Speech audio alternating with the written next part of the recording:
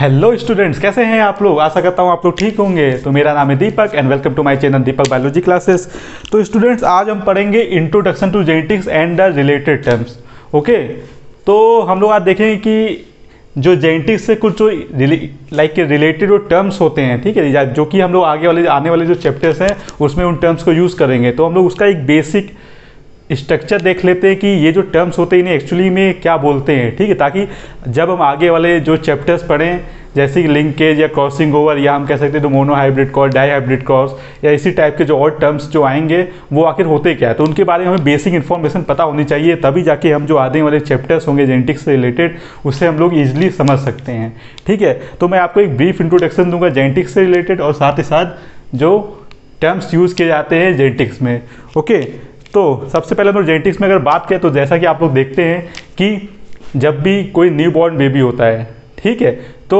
उसके अंदर क्या होता है, कुछ कैरेक्टर जो होते हैं, वो फादर के पे भी होते हैं, कुछ मदर्स के भी होते हैं, ठीक है। मतलब ये जो कैरेक्टर्स ये ट्रांसफ़र होते हैं कैसे? जो पेरेंट्स होते हैं, उनसे बच्चों में, ठीक है, ऐसे ये जनरेशन चलती रहती है और जो कैरेक्टर्स हैं, वो ट्रांसफ़र होते रहते हैं, ठीक है। तो बात आती है कि कभी कभी क्या होता है कि जो न्यूबॉर्न बेबी होते हैं, उसमें अगर आप लोग देखते हैं कि उसकी जो आँखें हैं कभी कभी वो फादर से रिजेंबल करती है कभी कभी उसकी नाक है, वो अगर हम देखें तो वो मदर से रिजेंबल करती है तो ऐसा क्यों होता है? क्यों होता है? ठीक है तो ऐसा इसलिए होता है कि जो कैरेक्टर्स होते हैं, या पेरेंट्स के, चाहे वो फादर हो मदर हो, ठीक है, वो कैरेक्टर्स क्या होते हैं ट्रांसफ़र होते जाते हैं जनरेशन टू जनरेशन जिसकी वजह से क्या होता है, जो न्यू बॉर्न बेबी होता है, उसमें भी जो कैरेक्टर्स है, वो प्रेजेंट होते हैं। ठीक है? लेकिन कुछ केसेस ऐसे भी होते हैं कि वहाँ पे क्या हो जाता है कि वेरिएशंस आ जाती हैं, ठीक है? मतलब अगर पेरेंट्स से जो कैरेक्टर है, वो ट्रांसफ़र नहीं होता है, ठीक है? जैसे अगर हम लोग बात करें कि कुछ कभी कभी तो न्यूबॉर्न बेबी होते हैं, वो क्या होता है? उनका जो शकल है या फेस है, उनका it didn't match with the parents also okay तो सभी लोग बोलते अरे यार, इसके किसका लड़का है? बस इसके तो ना बाप पे गया है, ना माँ पे गया है मतलब ना ये फादर पे गया है, ना ही मदर पे गया है। ठीक है? तो क्यों होता है ऐसा कि कुछ वेरिएशंस की वजह से हो जाता है, ठीक है? तो वेरिएशंस की वजह से क्या होता है? जो लड़का होता है, लड़की होती है ओके तो उसमें क्या होता है कि उसको अगर फिनोटिपली आप मतलब बाहर से अगर देखें तो वो देखने में ना ही फादर के उसमें कैरेक्टर दिखेंगे आपको, ना ही मदर के दिखेंगे, ठीक है? तो अब हम बात करते हैं जेनेटिक्स तो यही सब क्या है कि जो जीन्स हैं, या हम कह सकते हैं जो कैरेक्टर्स हैं, वो पास होते हैं एक जनरेशन से दूसरी जनरेशन में, ठीक है? From parents to offspring okay तो इसी कैरेक्टर्स को हम लोग क्या कहते हैं? हेरिडिटरी कैरेक्टर्स ओके अगर हम बात करें हेरिडिटरी कैरेक्टर्स की हेरिडिटरी कैरेक्टर्स ओके तो हेरिडिटरी कैरेक्टर्स का मतलब क्या हो गया? कि their characters which pass from parents to offspring from generation to generation okay तो such type of characters are called hereditary characters okay अब बात आती है कि अगर हम हेरिडिटी क्या होता है? ठीक है, अगर हम बात करें हेरिडिटी की हेरिडिटी की तो हेरिडिटी को कैसे हम लोग डिफाइन करेंगे? अब यही कैरेक्टर जो पास हो रहे हैं, एक जनरेशन दूसरी जनरेशन में mean from the parents to offspring फिर उस ऑफ़ स्प्रिंग से नेक्स्ट ऑफ़ स्प्रिंग ओके तो इसी कैरेक्टर्स की जब हम स्टडी करते हैं तो उसे हम लोग बोलते हैं हेरिडिटी ओके तो the study of these characters are called heredity okay okay now if you talk about the genetics genetics क्या है? It is generally composed of two terms one is heredity and the another one is variation. Okay? जैसा मैंने आपको already explain किया heredity means जो character है वो पास हो रहे हैं, ठीक है? पास होने की वजह से क्या हो रहा है कि जो न्यू बॉर्न बेबी है, उसमें क्या होता है कि आप फिनोटिपिकली बाहर से देखेंगे, अरे, इसकी नाक जो है, इसके पापा पे गई है, इसके जो ओट है, वो उसकी मदर पे गई है, ठीक है?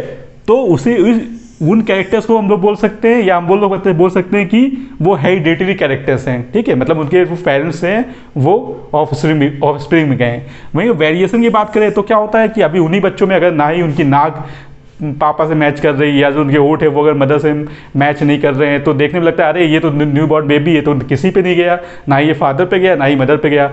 मतलब उसमें क्या हुआ? वेरिएशन आ गया, ठीक है?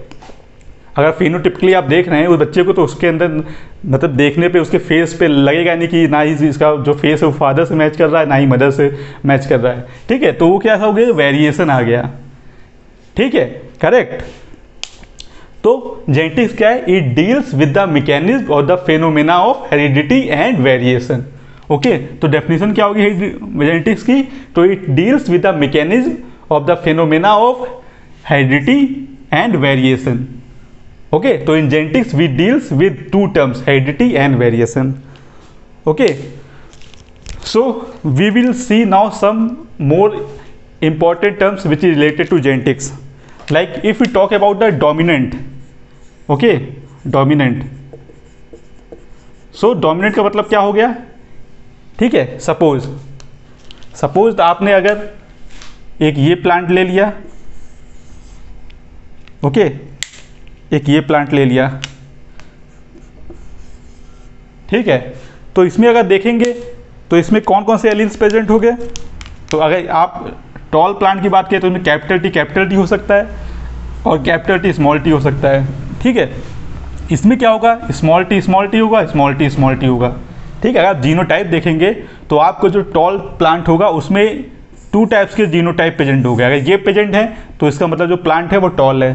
लेकिन अगर आप डॉर्फ प्लांट में देखेंगे तो उसमें जो जीनोटाइप होगा वो स्मॉल टी स्मॉल टी होगा, ठीक है? तो इसकी वजह से क्या होगा? जो प्लांट होगा वो शॉर्ट होगा, ठीक है? अब इस केस में देखिए, ये जो टी है ओके टी अलील जो ये है, ठीक है, ये क्या है? ये डोमिनेंट है, ठीक है?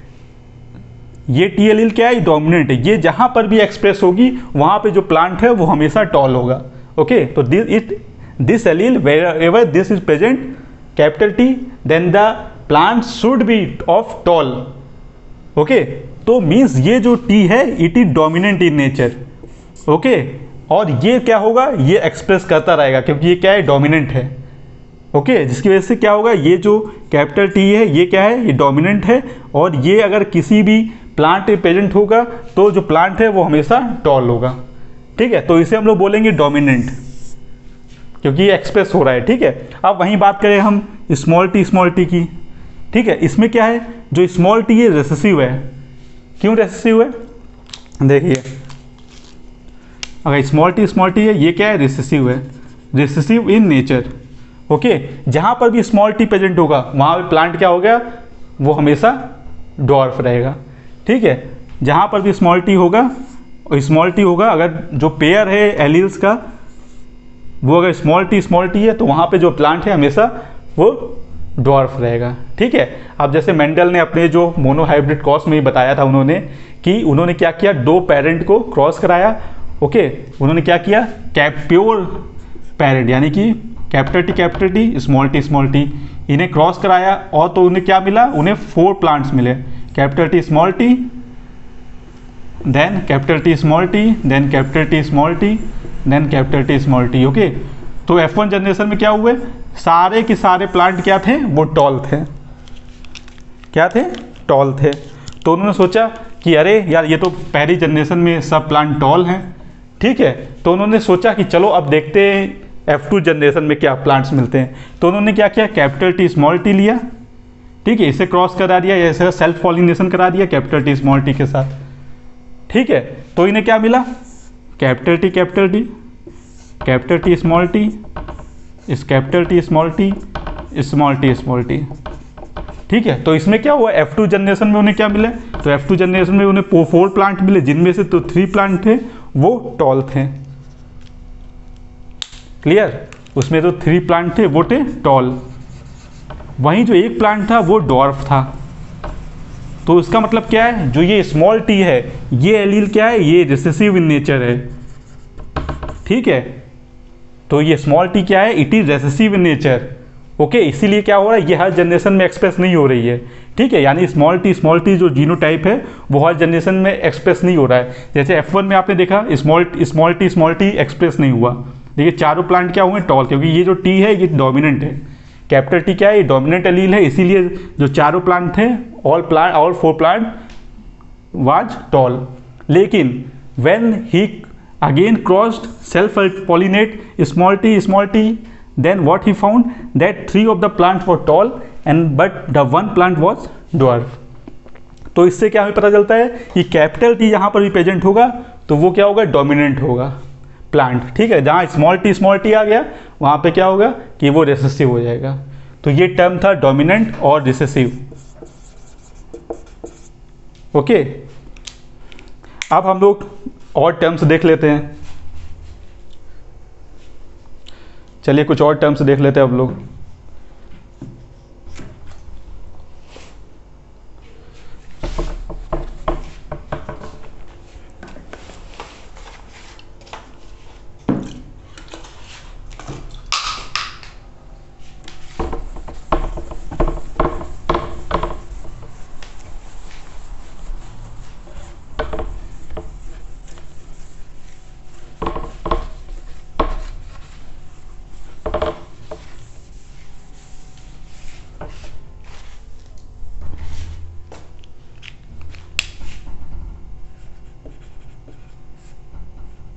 ओके तो अब हम बात करते हैं होमोजाइगस की, कि होमोजाइगस का मतलब क्या हुआ?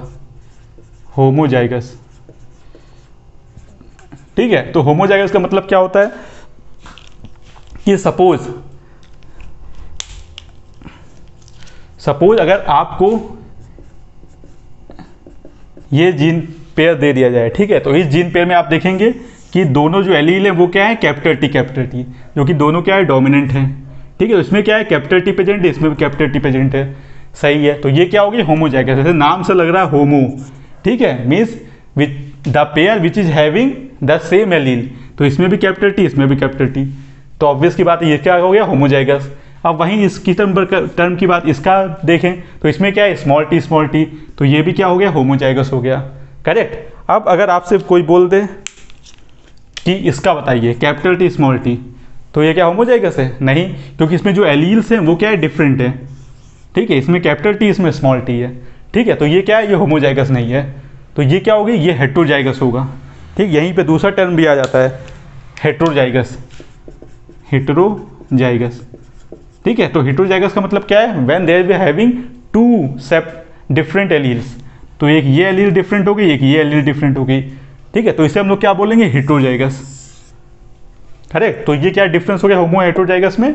When the gene pair when the allele is having the is having same okay when there different allele then it is a heterozygous when the same alleles are present, then it is called homozygous. When different alleles are present, then it is called बहुत ही simple है। ठीक है तो ये हो गया homozygous heterozygous अब बात करते हैं पेरेंटल जनरेशन की। ठीक है? तो हम बात करेंगे पेरेंटल जनरेशन तो पेरेंटल जनरेशन से क्या मतलब है? कि सबसे पहले जिन प्लांट्स के बीच क्रॉस कराया गया, वही क्या हो गया? पेरेंटल जनरेशन होगी ठीक है? सपोज़ अगर आपने capital R small R capital Y small Y इसका क्रॉस करा दिया capital R small R capital Y small Y तो ये क्या हुआ? ये पेरेंटल जनरेशन है, ठीक है? यानी कि पेरेंटल क्रॉस भी से बोल सकते हैं। ये क्या है? पेरेंटल क्रॉस और we can say parental generation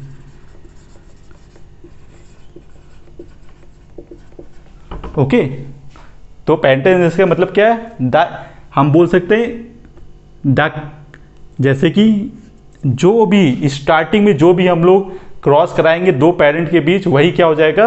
parent generation okay या पेरेंटल क्रॉस बोल देंगे। एक ये हो गया, एक ये हो गया।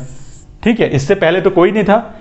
इसके थ्रू तो कुछ नहीं बनाया। अगर हम लोग कोई भी नया प्लांट अगर बना रहे हैं या नया प्लांट देखना चाह रहे हैं कि नेक्स्ट जनरेशन में कैसा प्लांट आएगा तो यही क्या हो गया? ये आपके पेरेंटल जनरेशन हो गई, ठीक है? एक ये हो गया, एक ये हो गया, ठीक है? इन दोनों के बीच क्रॉस कराया तो यही क्या हो गया आपका? जो पेरेंटल जनरेशन क्योंकि इसके बाद ही जो है न्यू न्यू ऑफ़िस स्प्रिंग आएँगी, चाहे वो एफ़ जनरेशन में आए, फिर उसके बाद एफ़ जनरेशन में जो प्लांट्स होंगे, उनके बीच क्रॉस होगा, तब वो एफ़ जनरेशन आएगा, ठीक है? वो हम नेक्स्ट डिस्कस करेंगे। तो नेक्स्ट अब हम बात कर लेते हैं फ़र्स्ट फीलियर जनरेशन की। तो फ़र्स्ट फीलियर जनरेशन ठीक है? इसे हम F1 भी बोलते हैं। तो इसका क्या मतलब है? फ़र्स्ट फीलियर जनरेशन का मतलब when there a cross takes place between two parents, then the offspring which is produced is called है एफ़ वन जनरेशन में ओके सो जो अब नई ऑफ़ स्प्रिंग आएगी, ठीक है? जो नई ऑफ़ स्प्रिंग प्रोड्यूस होगी, उस जनरेशन को हम लोग क्या बोलेंगे? एफ़ वन जनरेशन ठीक है, ये टर्म्स ही आपको अच्छे से पता होने चाहिए। जैसे कि हम लोग ने क्या क्या? Capital T capital T into capital T small T ये हम बोल सकते हैं स्मॉल टी स्मॉल टी ठीक है, इसके बीच क्रॉस उठाया तो ये क्या होगी पेरेंटल क्रॉस हो गया। ठीक है? और आप कह सकते हैं पेरेंटल जनरेशन ओके इसमें क्रॉस कराया तो हमें क्या मिलेगा? कैपिटल टी स्मॉल टी तो ये क्या होगी? ये एफ़ वन जनरेशन आपकी होगी. एफ़ वन जनरेशन अंडरस्टूड ना? तो ये क्या हो गया? ये पेरेंट हो गए two parent and then when they cross then the plants which produced in the generation is called the F one generation okay, अब अब बात करते हैं हम लोग एफ़ टू जनरेशन की।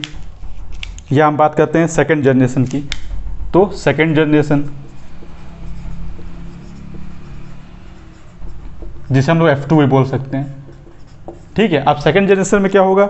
अब देखिए, अब यही प्लांट जो एफ़ वन जनरेशन में आया, उसका अगर हम, उसका अगर हम क्रॉस करा दें सेल्फ पॉलिनेट कर दें, तब हमें जो प्लांट प्रोड्यूस होंगे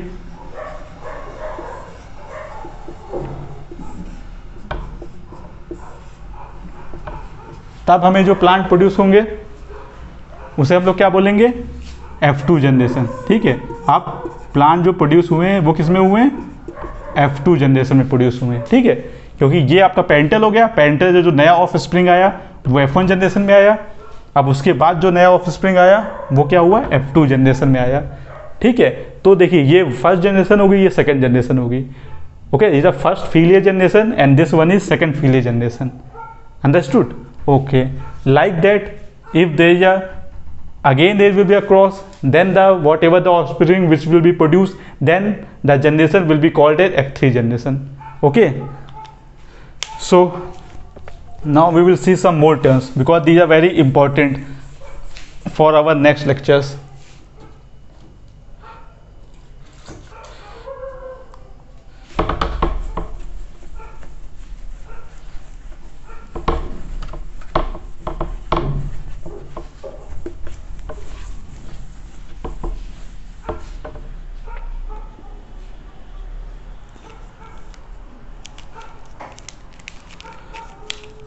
तो next will be phenotype.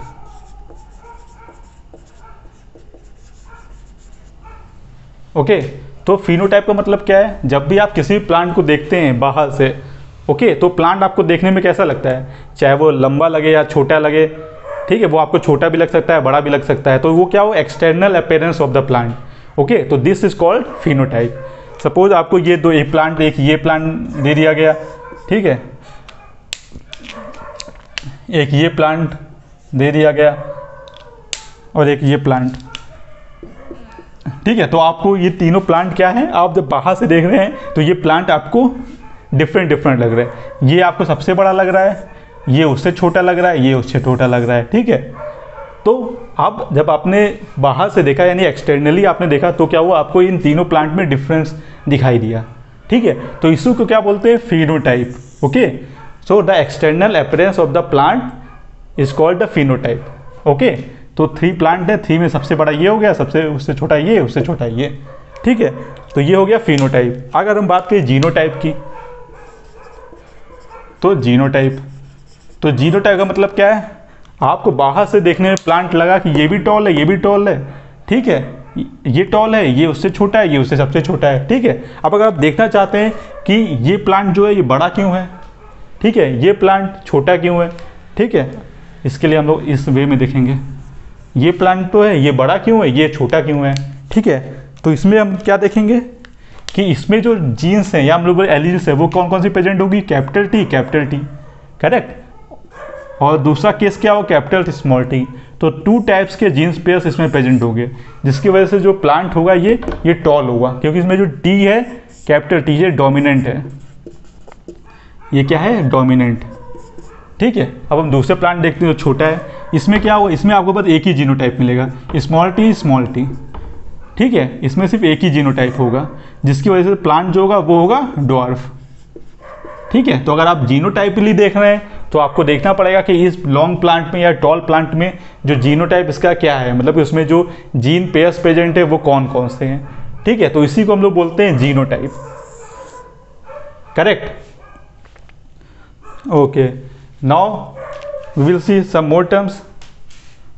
So, if we see monohybrid. Okay so monohybrid का मतलब क्या होगा होगा? कि जब आप कोई भी एक सिंगल कैरेक्टर लें, ठीक? और उसके बीच क्रॉस कराएँ, तब जो क्रॉस ऑप्टेन होगा, वो आपका मोनो हाइब्रिड क्रॉस होगा। और जो सिंगल कैरेक्टर होगा, क्योंकि आपने एक सिंगल कैरेक्टर लिया, जैसे अगर आप कैपिटल टी स्मॉल टी लें ठीक है कैपिटल टी स्मॉल टी ले लें। ठीक है, इसमें आपने क्या किया? या हम ले सकते हैं capital T capital T into small T small T ठीक है, अगर आपने ये लिया तो इसमें क्या हुआ? आपने सिर्फ़ एक कैरेक्टर लिया है। ये कैरेक्टर किसका है? टॉलनेस का। और ये किसका है? डॉर्फनेस का। ठीक है तो इसमें आपने क्या किया? सिर्फ़ एक कैरेक्टर लेके उसके बीच क्रॉस करा दिया। ठीक है तो उसे हम लोग क्या बोलेंगे? मोनो हाइब्रिड अब अगर इसके बीच आप क्रॉस कराएँगे, तब जो भी, जो न्यू ऑफ़ स्प्रिंग आएगी, वो उस क्रॉस को हम लोग क्या बोलेंगे? मोनोहाइब्रिड क्रॉस क्योंकि इन दोनों को क्रॉस कराने के बाद आपको न्यू प्लांट मिला। ठीक है? तो उसे हम लोग क्या बोलेंगे? Monohybrid cross okay if you talk about the dihybrid cross dihybrid तो डाई हाइब्रिड क्रॉस में क्या होगा? आपको एक से ज़्यादा करेक्टर लेने पड़ेंगे। ठीक है? जैसे अगर आप आर आर वाई वाई इसका क्रॉस कराएँ small R small R small Y small Y ठीक है? अगर इसका आप क्रॉस कराएँगे ठीक है तो इसमें आपने क्या देखा कि आपको दो टाइप के करेक्टर मिले। ठीक है, एक तो सेप का मिल गया, ये क्या हो गया सेप का। ठीक है तो इसका सेप ये क्या है राउंड दूसरा रिंकर्ड ठीक है, ये तो आपका हो गया एक कैरेक्टर अब दूसरा कैरेक्टर क्या है कलर तो ये कलर क्या हो गया येलो इसका क्या हो गया ग्रीन ओके तो हेयर आपको कितने मिले? Here you have you have seen that there will be two character one is for shape and another one for colour okay तो it is called dihybrid cross okay अगर वहीं अगर हम तीन कैरेक्टर ले लें if we take three character then it will be a called trihybrid okay like that it will continue okay so this is about the monohybrid dihybrid cause and trihybrid or we can say polyhybrid cause also we can say like that only okay now we will see some more terms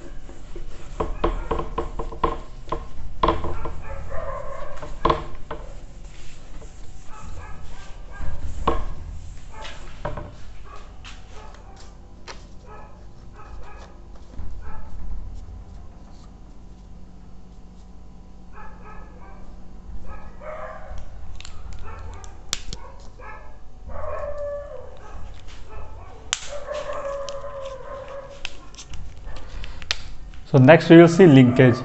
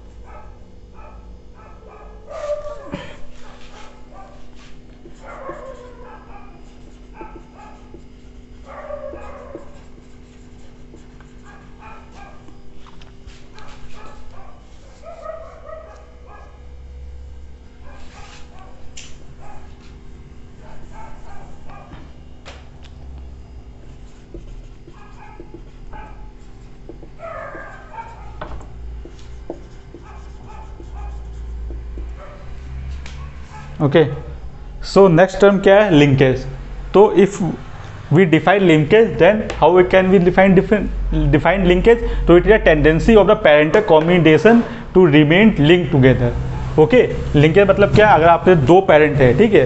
जैसे father mother हो गया, ठीक है?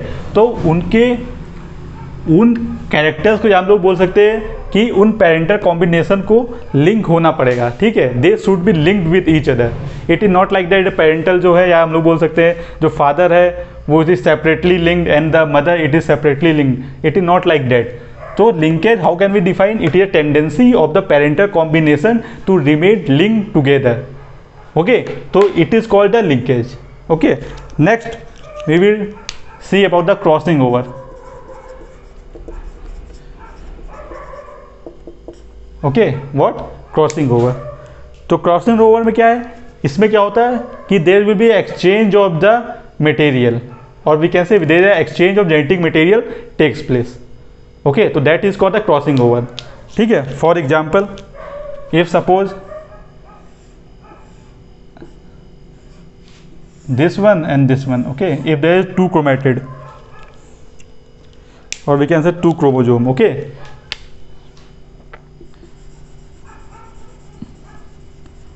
okay if there is a exchange between the genetic material takes place suppose if it becomes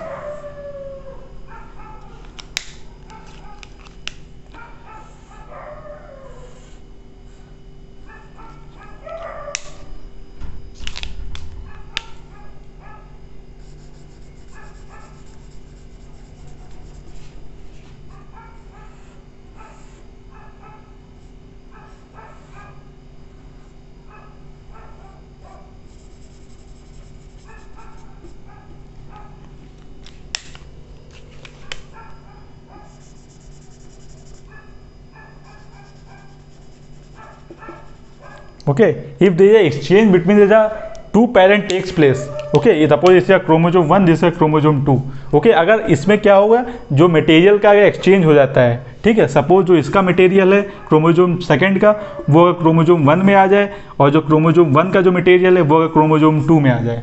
तो इसे हम लोग क्या बोलते हैं? क्रॉसिंग ओवर क्योंकि इसमें क्या हुआ? दो क्रोमेट्रिड के बीच, हम लोग दो क्रोमोजोम के बीच क्या हुआ? एक्सचेंज हुआ जेनेटिक मटेरियल का। ठीक है? तो this is called the crossing over okay so ये कुछ इंपॉर्टेंट टर्म्स है जो कि जेनेटिक से रिलेटेड थे, जो कि बहुत ही यूज़फुल हैं आपके जो आने वाले चैप्टर्स हैं उनके लिए। तो हमने आज क्या किया? हम लोग ने डिस्कस किया introduction of genetics and also the related terms which will be very useful in your upcoming lectures okay so अगर आप मेरे चैनल पर नए हैं तो चैनल को सब्सक्राइब ज़रूर करें और साथ ही साथ बेल आइकन को प्रेस करें ताकि मेरे द्वारा बनाए गए वीडियो का जो नोटिफिकेशन है वो आपको टाइम टू टाइम मिलता रहे।